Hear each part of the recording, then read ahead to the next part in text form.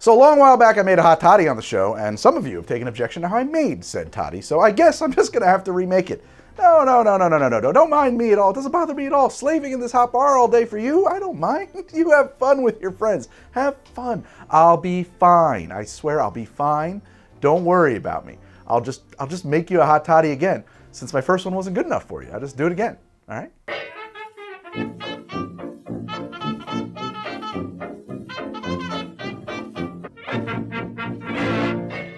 So in that hot toddy episode, I made a toddy with hot water, sugar, bitters, and whiskey. Actually, monkey shoulder scotch with a twist of lemon.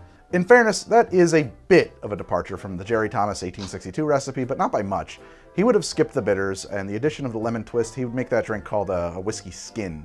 I really actually really like the name Whiskey Skin. I don't know why, I think it's a cool name. So that recipe that I made with the bitters and the twist, it's sort of my own very, very minimalist light touch embellishment on to that Jerry Thomas recipe from the 1860s. Kind of putting my own spin on it without stretching it too far. And I am a huge fan of that formulation. I enjoy them on many a cold night. But then I didn't grow up with this drink the way a lot of you in the comments seem to have. The general consensus I get from the comments is that for most of you, this drink must be made with honey, probably lemon juice and maybe black tea, and then seasoned up with a bit of mulling spices, allspice, clove, cinnamon, that kind of thing. Honestly, that sounds very good. It's not the roots version from the Jerry Thomas guide, but who cares? I really want to try that. That sounds great. So I'm going to whip up a version based on the bits and pieces that jumped out at me from the comments. Um, I don't have like anything specifically planned here. I kind of know what you guys are talking about. You want to see some honey, you want to see some lemon, you want me to do something with some some scotch, probably, probably some scotch. Uh, so I was right on that front. And uh, some of you want me to use black tea, and I actually I meant to bring in a couple of a little tea, uh, but I missed that up. Uh, throw that in here. Oh God, that's so risky. I just realized like that this lid could come flying off. We're gonna go PG tips because I had a box. That's what we're gonna do. I always use the monkey shoulder. It's kind of my go-to. I brought this out because I thought it's interesting, but I am not a big super peaty Scotch fan, to be honest. Um, but the Artist Blend, this smells lovely from Compass Box, and I haven't had a chance to use it. And it's really, it's the perfect, I think, you know, you don't want to, this is too much, too much for a toddy, I think. It's too, too fancy. Uh, this would be perfect, this would be perfect. So I'm gonna start with lemon. So we're gonna go with some lemon juice. I think a half an ounce. I'm gonna go with a half an ounce. I don't think I want too much. I just don't. Um, and I want one ounce of honey syrup. This is just honey that I've added a little bit of water to to make it easier to pour. So we're gonna go with an ounce of that. And that way, actually, half ounce of lemon to one ounce of honey syrup actually puts the honey and the lemon in pretty equal measure um, because the honey is diluted a little bit. Let's do one and a half ounces of our scotch. Shout out to Curiada here for uh, providing excellent scotches, mail order straight to your house. You can check them out in the link in the pinned comment below. So we've got lemon, we got honey, we've got some scotch in there. Probably want a cinnamon stick. Yeah, I think I definitely want a cinnamon stick in there. I'll add a cinnamon stick, just add it in right home. Take my lemon and I'm going to cut a wheel or two and I'm gonna take this, I'm gonna poke some holes. I'm gonna stud this with some cloves. And I find that you can jam the clove straight through the rind of the lemon, but I tend to break them in the process. I find that pre-drilling makes your life a lot easier. So these are cloves, and I'm making terrible eye contact with the camera. None, almost none. This is my new approach, just no eye contact. Uh, very awkward show, no eye contact it would look very pretty to do that. So let's do that for now, but recognize that that's not very effective because what we want to do is we want to get that all into the drink actually. This is a personal touch. I'm a huge fan of star anise when it comes to mulled anything. So I'm gonna drop that in there because I like it in there. And why did I do all this before the water? Because I wanna add the hot water to my spices so the hot water has a chance to agitate across the surfaces of them and kind of bring out those expressions. And I'm just gonna eyeball some hot water in here now. Right into my star anise there. Bit of fresh nutmeg. Jerry Thomas's guide calls for some fresh nutmeg. I don't see too many of you guys using nutmeg online, but we're gonna do that anyway here. Just a little choo choo choo choo, little nutmeg there. I'll call this the consensus, uh, the comments consensus toddy. Let's see how it is. This looks really good. I, I think I'm gonna love this. I have to say, I like that. It's a much brighter drink than the version I usually make, which is made with monkey shoulder typically, which is a little different than the artist blend, which has a lot of vanilla notes in it, I, and I like that. The spices are kind of getting a little bit lost. What we should do is we should take our lemon wheel, get it right off the top there, and lay it sideways into the drink so that those cloves are in the drink and they're marinating in it, and that the lemon oils from the peel are in there, and everything is kind of working together in that hot water. And this drink should get better from that process over time. The honey lemon combo kind of kicks in later. The, I gotta say, I'm used to a toddy that's got some some meat on its bones. I mean, that maltiness to the to the other version that I typically make, you can almost chew on it. Um, you know, it almost is a. I can't quite explain it. It's it feels hearty. It's a heartier drink. This feels brighter. Uh, it's like a glass of sunshine. It's a totally different kind of concept. To me, it comes it comes from a very different place. Or I guess it comes from the same place, but it gets to a different destination, if that makes any sense. I think I would just leave the lemon out. I just don't think I'm not big on a lemon in a hot toddy, but I do like it a lot. And uh, I appreciate the commenters who asked me to make this. I kind of, I'm curious now about doing it with the tea.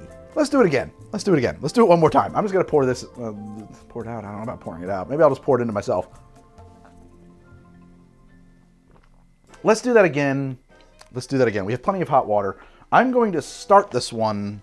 So we're just gonna drop a tea bag into the thing at the bottom. We will scoop it out when we're done. We like honey, we like lemon. Let's do another half ounce lemon. Let's do full ounce of the honey. We're gonna stick the compass box here, the artist blend, one and a half ounces. Okay, let's add our hot water. We have boiling water right here. Well, it was boiling. It's not boiling anymore. Go a step further with our cinnamon while that's warming up. What the heck, we may as well. And we'll just actually try to grate a little bit of the bark in there. And we'll do a little same with the nutmeg here. Nutmeg away. Lovely, lovely. Boiling hot water. Top that up. Make tea, please. And I'm not even gonna help it along by giving it a little stir. We lose a lot of temperature from our water because uh, our other ingredients are not heated. So we lose a lot of temperature right away, but it is working. You're seeing plenty of color change here. We're getting, this is really turning into some tea. Uh, which is nice, and we'll just scoop out the bag when we're done. That'll work. In addition to that, we will prepare another studded lemon. Okay, and our lemon is done. Probably been, you know, maybe not a full three minutes, but I mean, that's pretty good. We got some darkness there. Um, I will press it out as best I can. I want to make sure I get as much of my drink back as possible. I don't want any scotch going into my tea. Okay, and we've got our lemon. We will float that across the top there. Drop in our cinnamon stick for this one and uh, we'll call that a toddy. Let's see how it works. If it's better with tea, I'm curious. Oh, that's a lot better. Wow. Oh my God, that's deeply improved. That's got so much more body and flavor profile and evolution, and the tea really does um, come through. I hate to say this, but I do think it's now a little bit undersweetened. It, it, feels a little, little bit too tart to my taste. I like the honey notes that are there. I don't think I want to add more honey though. I think I want to just add a bar spoon or two of simple syrup. I think that's what I, this is missing. And I think we'll have a really nice toddy. You know, in truth, the honey is actually a really modern, as far as I can tell, uh, it's at least, you know, modern to like the 20th century uh, affectation on the toddy they were traditionally made with just simple syrup or sugar. Oh my goodness, I love that. It's got that lemon, honey, thing that happens with lemon and honey and tea and that bitterness. Very, very nice. The, the vanilla notes are a little bit muted, not totally lost. You're still getting it from the Compass Box uh, Artist Blend. It will take time, but these cloves will continue to express slowly and the lemon oils from the peel into the drink from the warmth and the heat, and they will change it over time. I mean, you might finish it before they do a whole lot to it, but then again, I don't know. I think I'm getting a little bit of that bitey cloveness, that almost numbing sensation. That's very good. That's excellent. I like that way a lot. I like it with the tea. It's a lot less thin. Like the flavor profile on the, the one with just the water was like, it, it you know, a lot of you say it's medicinal, it's a, a cold thing. That started to taste medicinal. This tastes like, oh, I like this. This is just like a good old put your feet up by the fire kind of drink. And it keeps getting better, actually, it does. With this in mind, I kind of want to try this other toddy recipe I found online. It's from one of my favorite bartenders uh, right after this. So before I turn on the camera here to shoot this, I did a bit of Googling. I wanted to know why there was such a discrepancy between the early version uh, the 1860s version of the hot toddy, and what most of you have in your head as a toddy. And I still don't know. I've got no idea where that recipe got rewritten to involve tea and honey and the rest. I'm gonna have to leave that one to far better historians than I, actual historians and journalists, not, you know, pretend clowns on the internet. But um, while I was looking for some kind of a anchor modern toddy recipe to lash the ship of this episode around, I stumbled into a recipe from Jeffrey Morgenthaler, and uh, this sounds extremely good, so I just want to try it. Um, so let's do his recipe, uh, reproduced poorly by my own hand, um, and uh, let's move along. So he builds his in something he calls a bartender's bain marie, which is brilliant. It's just a bain marie built from the two tins of a cocktail. It lets you heat up the ingredients before adding the hot water to the drink, which helps the whole thing hold a higher temperature. It's genius, honestly. So I'm gonna build a bain marie here with my two tins, and I think that the idea would be, I think two small tins would work fine, but we're just gonna put a bunch of hot water in here, and we'll set this in here to float. So now we've got this kind of hot crucible for us to mix our drink uh, together in without diluting anything. Uh, this is super genius stuff from Jeff Morgenthaler. So now to the dry cup here, to the dry tin, I'm gonna add a couple bar spoons of allspice dram. This is St. Elizabeth allspice dram. I want to do three quarters of an ounce of lemon juice, one ounce of ginger syrup, uh, and this is made using Jeffrey Morgenthaler. Uh, he calls it the San Francisco method. Uh, equal parts water, equal parts sugar. Boil those together, dissolve it, pour them over an equal part of ginger root in a blender, blend the heck out of it for a minute, and then just strain it, and uh, it's pretty good stuff. Boiling ginger in syrup for long periods of time yields a ginger syrup that tends to be sweeter than gingery. This syrup is more ginger than sweet. Now I want one and a half ounces of bourbon. Uh, in the blog post he wrote that I read, I didn't see anything specified, so I'm just gonna use my, my personal favorite here, Old Grandad. I do really like Old Grandad. One and a half ounces of Old Grandad. And now we're gonna stir these together in the Bain Marie to get their temperature up and to have them be well mixed. Uh, so I'm also going to preheat the glass that I'm gonna make this in by pouring some hot water into it. So here we go, that's the glass I'm gonna put this one in. Let's preheat the glass. So mix that up. Um, and the stirring here is actually increasing the heat, right? So this is gonna make this drink hotter as I stir because of thermodynamics and science. I don't know. Um, but it, you can feel it getting hotter. It's working. Ah, don't push down on the top of your Bain Marie. The hot water will come out the sides. Um, okay, so that's good and hot and ready. This is hot and useless now. Um, I will dump this out, get rid of the hot water here. That's now hot. I will pour this into my glass. Done. That's our toddy. And I'm gonna top it up with uh, hot water, and that's it. A lot of uh, these recipes call for all kinds of spices and things like that. Jeff's uh, did not, other than that ginger syrup, which is an interesting touch.